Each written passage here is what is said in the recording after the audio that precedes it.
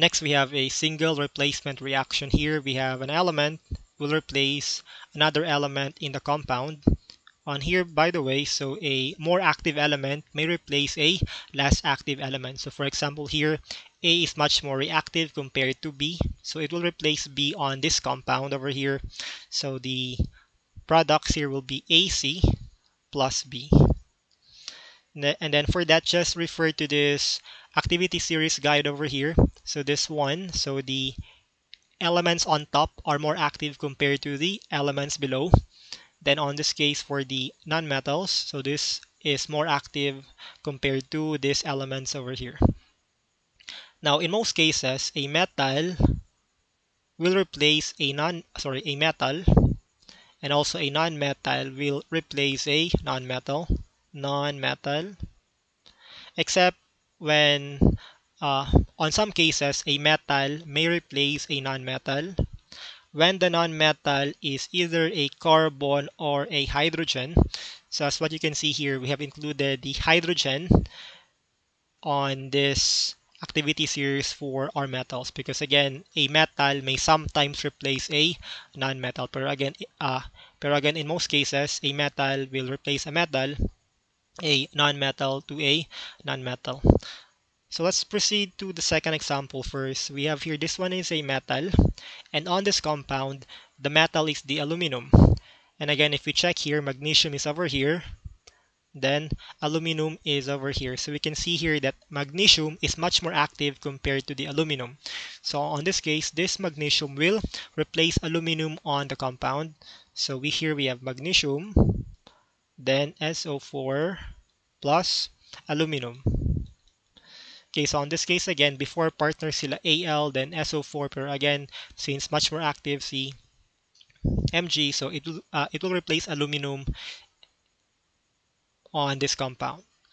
Then let's check the charge here because SO4, the charge for SO4 is uh, SO4 that is sulfate that is negative 2 and then the charge of magnesium is positive 2 so this one is already neutral so there's no need to add other numbers here. This one is the these are the products of this reaction. Next we have Zn plus HCl this one is a metal and this one here both are non-metals. But again a metal may replace a non-metal when that non-metal is either a carbon or a hydrogen. And here we have a hydrogen. So in this case, uh, if we look on to the activity series also, we have zinc is over here. Then we have hydrogen is over here.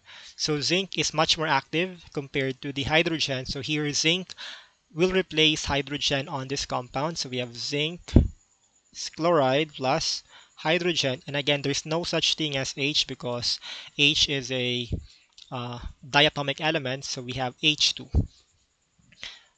So next, let's check this one. We have Zn Cl, Cl. Then again, check the charge Zn that is uh, zinc that is positive 2. Then for Cl that is negative 1. So it's not neutral, obviously.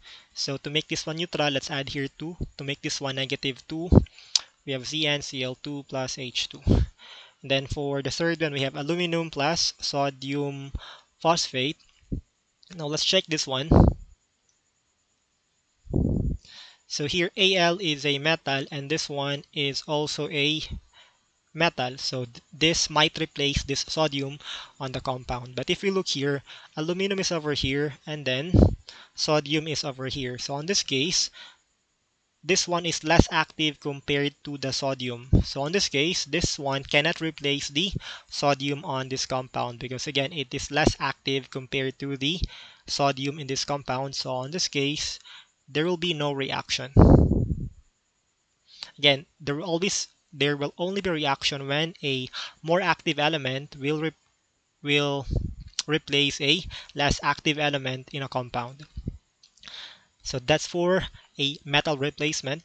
Then here we have a halogen. So these are the elements on group 7A. So this one over here these are the second to the last na column.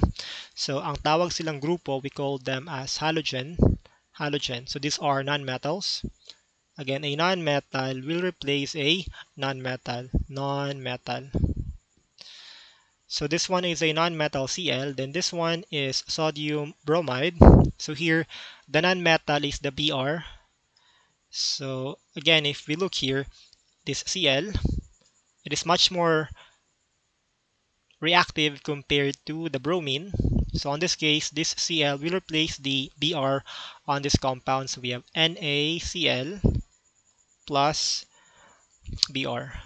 And again, pag Br, this one is also a diatomic element. So we have N we have NaCl plus Br2.